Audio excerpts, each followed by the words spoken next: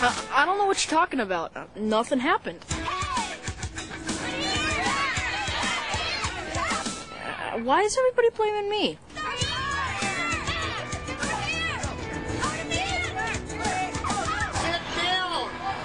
Well, I'm expected to watch the students and the road at the same time, and it, it's you just can't do it.